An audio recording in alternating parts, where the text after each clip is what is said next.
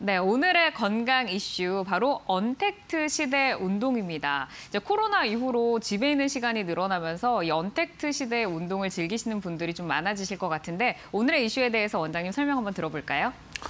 어, 많은 사람들이, 아, 많은 사람들이 아니라 모든 분들께서 운동을 해야 되는 걸 모르고 있진 않거든요. 그렇죠.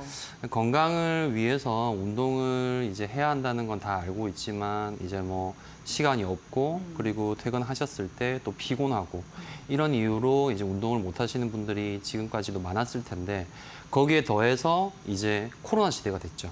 그래서 코로나 시대 이제 언택트 시대라고도 불리고 네. 어, 이렇게 코로나가 이제 유행을 하게 되면서 이제 운동 시설의 출입도 제한이 되고 그리고 실제로 운동 시설에 가서 운동하는 걸 또 사람들이 이제 꺼려하는 그런 시기이잖아요. 네. 어, 그래서 이제 사실 그런 부분들 때문에 뭐 환자분들께서도 요즘에 운동을 못 하고 있다, 운동을 못 한 지가 이제 거의 2년이 다 돼 가니까 다시 네. 아프다, 뭐 이런 분들이 요즘 많은 게 어, 어. 현실이죠.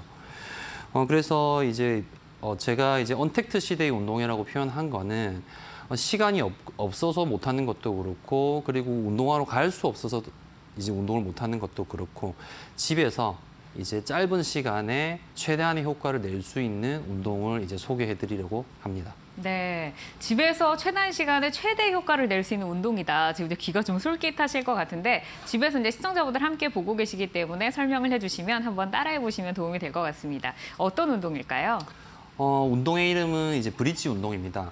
여성분들은 이제 힙업 운동이라고 해서 이제 많이들 좋아하시죠. 네, 네, 이, 이 브릿지 운동을 이제 준비한 이유는 어, 운동이라는 거는 이제 매일 하는 게 중요하거든요. 어, 근데 이제 매일 한 시간 두 시간씩 운동을 해내는 분들이 있죠. 네, 근데 쉽지 않죠. 대부분의 분들은 네. 대부분의 분들은 그런 식으로 운동을 이제 계속해서 해내지를 못하거든요. 어, 그러면 정말로 최소한 이거라도 하자. 네. 그렇게 했을 때 허리 건강 그리고 전체적인 컨디션 이런 것들을 좀 유지할 수 있다. 음. 그 내용인 것인데 어, 코어 운동이 중요하다는 것들을 이제 많이들 알고 계세요. 네.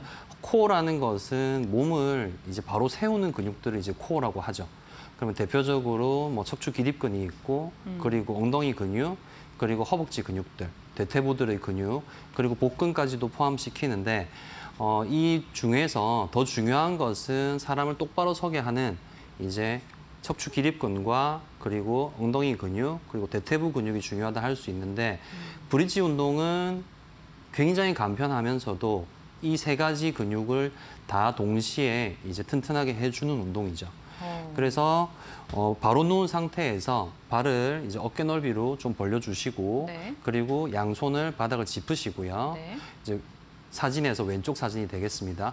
그 상태에서 엉덩이를 들어 올리는데 엉덩이를 들어 올린다는 느낌보다는 여기 명치 부위를 이제 천장으로 하늘로 이제 들어 올린다고 생각을 하시고 들어 올렸을 때 좀 더 효과가 좋다고 할 수 있겠습니다. 네. 그리고 이제 저 어, 아무것도 얹지 않고 운동을 하시고 나서 이제 어느 정도 시간이 지나면 시간이 지나면 이게 어, 익숙해지거든요. 네. 익숙해지고 나면 익숙해지고 나면 이제 좀 무게를 음. 올려서 우리 헬스장에서 운동을 하실 때도 네. 뭐 운동을 할 때 조금씩 조금씩 무게를 이제 올려가지 않습니까? 어, 그런 것처럼 어, 무게를 올려가면 좋은데 이제 홈짐이라고 하죠. 집에 운동 시설, 운동 기구들을 갖추고 있, 는 분들이 이제 코로나 시대가 되면서 더 많아졌거든요. 음. 그런 게 있으신 분들 같은 경우에는 사진에서 보시는 것처럼 브릿지 운동을 하는데 아랫배 부위 아랫배 부위에 어, 바벨을 얹고 그렇게 해서 무게를 얹어서 네. 하나를 할 때 힘이 더 힘을 더 많이 쓰실 수 있게 이제 운동을 하시면 좋죠. 근데 이제 저건 기구가 있는 분들의 얘기인 것이고 네. 환자분들은 이제 허리가 이제 병이 있고 하신 분들 그리고 이제 나이 많으신 어르신 분들 같은 경우에는 저렇게 하실 수는 없잖아요. 네. 현실적으로. 그럼 집에서 이제 간단하게 무게를 올릴 수 있는 방법. 네. 이제 쌀자루를 이용을 하는 겁니다. 쌀자루요? 그렇죠. 네. 보통 이제 집에. 집에서 보면 네. 이제 보통 뭐 5kg, 어. 10kg, 20kg 이렇게 집에 준비들을 해 놓으시는데 음. 처음에 시작하실 때 이제 5kg 정도를 아랫배에 어. 얹으시고 네. 그렇게 해서 이제 뭐 20개씩 3세트 하시고 또 익숙해지면 네. 또 조금 더 올리는 거죠. 5kg 에다가 2kg를 더하든지 네. 안 그러면 바로 10kg를 올리셔도 되고 오. 이제 해보면 스스로 아 무게가 요 정도가 나는 괜찮은 것 같다 그 정도 무게로 그렇게 무게를 조금씩 올려 나가면서 뭐 네. 20kg 이런 식으로 20kg를 실제로 환자분들도 올리시나요?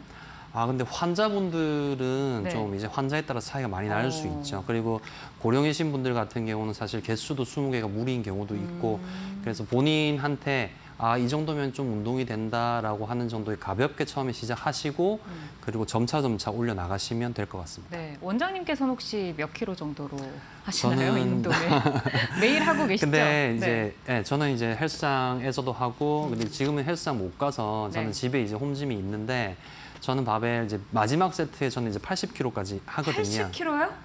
근데 아, 원래 이제 네. 기립근과 엉덩이 대퇴 근육은 원래 힘 이제 굉장히 근육이 덩어리가 크고 힘이 센 곳이기 때문에 음. 네. 젊은 사람들 같은 경우에는 100kg 넘게 하시는 분들도 100kg. 많죠. 아, 이제. 데드리프트는 이제 허리 이제 운동을 하다가 이제 허리가 손상되는 경우가 많은데 음. 이제 헬스장 가보면 데드, 뭐 젊은 남성들 같은 경우에 조금 운동을 하신 분들 같은 경우는 데드리프트 100kg 넘게 하시거든요. 음. 여성분들도 이제 뭐 50kg 이상들 하시고 젊은 여성분들 같은 경우에는 바벨로 브릿지 운동을 할때 네. 좀뭐 특별히 아픈 게 없고 그러시면 아픈 데가 없고 하시면은 뭐 50kg 이상 뭐좀 하시다 보면 그 정도까지는 쉽게 하실 수 있을 것 같습니다. 그렇군요. 네, 어쨌든 이제 들어보니까 본인의 건강 상태라던가 나이라던가 아니면 오늘의 컨디션 또 근육의 정도에 따라서 뭐 킬로그램의 차이 그리고 어, 몇 개의 차이, 개수의 차이 뭐 이런 것들 고려하셔서 운동을 하시면 좋을 것 같고요. 매일매일 지속하는 게 중요하다는 점 전해주셨으니까 꼭 유의를 하시기를 바라겠습니다.